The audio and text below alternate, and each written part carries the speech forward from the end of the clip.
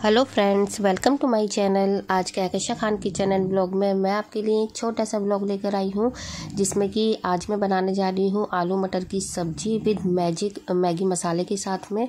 तो जब आप इस सब्ज़ी को आ, मैजिक मसाले के साथ में बनाएँगे ना तो ये आपको बहुत ज़्यादा टेस्टी लगेगी। एक अलग ही टेस्ट आएगा एक अलग फ्लेवर आएगा आपको आलू मटर की सब्ज़ी में।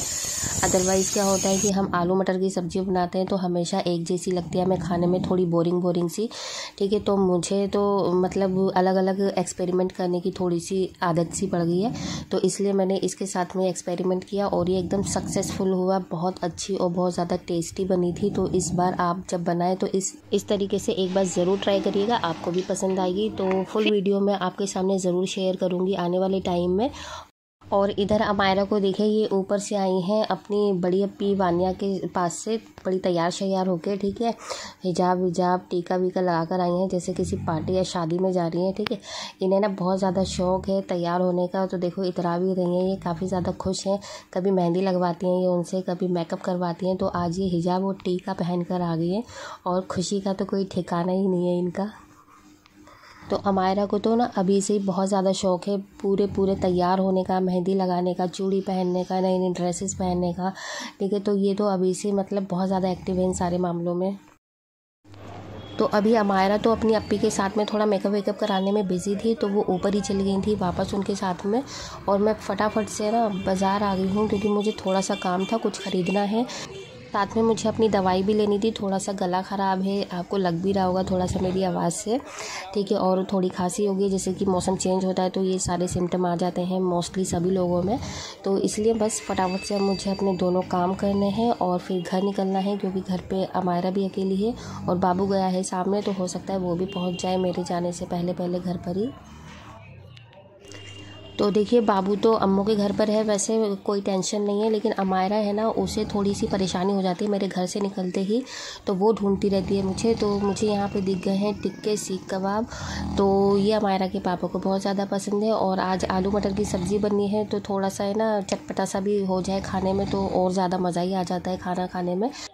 तो आप लोग भी मुझे कमेंट करके बता सकते हैं कि किस किस को ये सीख कबाब और टिक्के पसंद है, लेकिन हमें तो ये बहुत ज़्यादा पसंद है।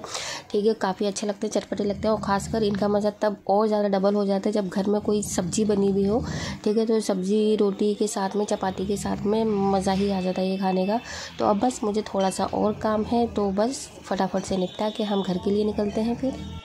और इस टाइम पे ना हमारे एरिया में बहुत ज़्यादा रश हो जाता है यहाँ पे, ठीक है? सब्ज़ी वाले, फल वाले और आसपास जो होटल हैं, ठीक है? वो सारी चीज़ें इधर लगी हुई हैं और सारा मतलब मार्केट एरिया है ना तो निकलना थोड़ा सा मुश्किल हो जाता है। लेकिन यहाँ पर एक बात बहुत अच्छी है कि आप किसी भी टाइम आकर यहाँ पे कोई भी चीज़ ले सकते हैं, आपको कोई भी चीज़ की परेशानी नहीं होती है। और मार्केट खुलने बंद होने का भी कोई ऐसा टाइम नहीं है कि आपको मतलब रात के बारह बजे ये मार्केट बंद मिल जाएगी, ठीक है? अगर आपको रात के बारह बजे भी कोई चीज़ की ज़रूरत पड़ जाती है ना तो आप यहाँ से आसानी से ले सकते हैं। और अब जल्दी से सारे काम निपटा के मैं भी पहुँच गई हूँ बस घर पर ही। और घर पहुँचते ही देखिए मैं क्या देख रही हूँ। ये दोनों बच्चे मेरे बैठे हुए हैं और बड़े आराम से इनके आगे रखे हुए हैं। इनके फेवरेट पिज़्ज़ा बर्गर ठीक है? तो ये दोनों चीज़ें इनके बड़े पापा लेकर आए थे दोनों बच्चों के लिए। तो आराम से बैठ के ये खा रहे हैं और बाबू भी आ गया है अम्मू के घर से। तो लगे हाथ इनकी भी पार्टी अब शुरू हो गई है, नहीं तो ये मिस कर देते। तो हमज़ा को लगा है पिज़्ज़ा थोड़ा सा गर्म तो मेरे से वो बोल रहे थे कि इसको मतलब ठंडा करके मुझे दे दो। तो देखिए मैंने इन्हें ठंडा करके दे दिया है और हमज़ा बड़े आराम से पिज़्ज़ा खा रहे हैं और पिज़्ज़ा भी देखिए बिल्कुल मिनी पिज़्ज़ा है ये। तो ये अभी हमारे घर के बराबर में ही नई शॉप खुली है पिज़्ज़ा बर्गर की। तो बराबर में शॉप खुलने की वजह से इन दोनों के आ गए हैं बहुत ज़्यादा मज़े और अब देखो ये रोज़ का ही ड्रामा रहेगा हमारे घर पे पिज़्ज़ा बर्गर का। तो इन्हें मिली है आज जूस और चॉकलेट भी और अमायरा बताएँगी कि ये किसने दी है। डैडी ने दी है। बोलो। अच्छा है। ओ वाह। तो अमायरा बता रही हैं कि उन्हें डैडी ने चॉकलेट और जूस दिया है तो पीछे से हमज़ा को भी कुछ ना कुछ बोलना ज़रूर होता है तो वो बोल रहे हैं कि अच्छा उन्हें पिज़्ज़ा अच्छा लगा है। ठीक है तो बहुत अच्छे से मज़े से बैठ के तमीज़ से खा रहे हैं दोनों बच्चे मिल तो आज इनकी छोटी सी पार्टी हो गई है मेरे जाने के बाद। तो इन दोनों को देखिए, दोनों बड़े पापाओं ने बहुत ज़्यादा लाड़ प्यार करा, दोनों को चीज़ें दी इन्हें लाकर।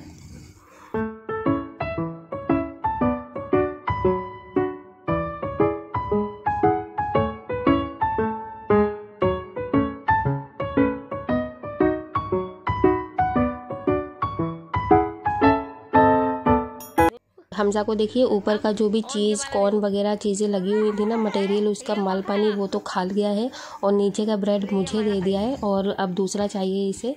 तो ये दोनों बच्चे ऐसे ही करके खाएँगे, ये ऐसे ही खाते हैं। आप भी मुझे बताइएगा कि आपके बच्चे किस तरीके से पूरा पिज़्ज़ा खाते हैं या ऐसे ही फिनिश करते हैं। तो बाज़ार से आते टाइम मैं थोड़े से एप्पल लेकर आ गई थी फिनिश हो गए थे, घर में पॉपकॉर्न ले आई थी हमारा शौक से खाती है और मटरी लेकर आई थी, चाय के साथ में बहुत अच्छी लगती है, एकदम ताज़ी ताज़ी बेकरी की बन रही थी तो बहुत अच्छी इसमें से खुशबू आ रही थी।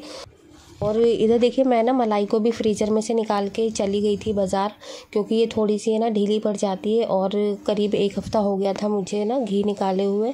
तो ये एक कटोरी पूरी भर भी गई थी तो मैंने सोचा आज इसका मैं घी भी निकाल लेती हूँ। और अभी हमारा के पापा आए भी नहीं हैं घर पर तो थोड़ा सा वक्त है खाना खाने में तो जब तक हम इसका घी निकाल लेते हैं और अभी बच्चे भी थोड़ा सा बिज़ी हैं अपने खाने पीने में तो मैं इधर फटाफट से घी निकाल लेती हूँ इसका। तो मैं ना ज़्यादातर मलाई का घी घर पर ही निकालती हूँ, क्योंकि ये एक तो प्योर होता है और कोई मिलावट नहीं होती है, ठीक है? और इसकी जो खुशबू होती है तो वो एक अलग ही आपको फ्लेवर देती है। जब भी आप इसे किसी भी चीज़ में डालेंगे, खिचड़ी में, दाल में तो पराठे बनाएँगे आप इसके, या खाली रोटी पर भी आप घी को लगा के खाइए तो आपको बहुत अच्छी लगेगी टेस्ट आएगा। तो देखिए, बहुत जल्दी निकल जाता है और ज़्यादा टाइम भी नहीं निकल लगता मतलब इसका घी निकालने में मलाई से। तो देखिए, बस हमने इसमें ज़रा सा नींबू डाल दिया, नींबू का रस और ये अब देखिए, दूध सारा फट गया है क्रीम इसकी। तो ऊपर अब देखिए, इसमें हल्का हल्का करके घी आने लगा है। बाकी अगर आपको घी निकालने की फुल वीडियो देखनी है तो आप मेरे चैनल पे जाके देख सकते हैं। मैंने वहाँ पर अपलोड की हुई है इसकी फुल वीडियो। तो अब हमारा घी भी निकल चुका है और आज के मोस्टली सारे काम फिनिश हो चुके हैं मेरे। तो आज के ब्लॉग को मैं यहीं पर एंड करती हूँ। अब मिलेंगे हम अगले नए ब्लॉग नए वीडियो के साथ में मज़ेदार सी। तो तब तक आप अपना ख्याल रखें और वीडियो अच्छी लगी है ब्लॉग अच्छा लगा है तो आप इसे लाइक करें, प्यारा सा कमेंट करिएगा। और चैनल पर पहली बार विज़िट कर रहे हैं आप तो आप इसे सब्सक्राइब ज़रूर करिएगा। नीचे दिए गए बेल आइकन के बटन को भी ज़रूर हिट करें, ताकि ऐसे प्यारे प्यारे से अच्छे अच्छे व्लॉग आपको सबसे पहले मिले। तो मिलेंगे हम अगले नए व्लॉग, नए वीडियो के साथ। बाय, अल्लाह हाफिज़।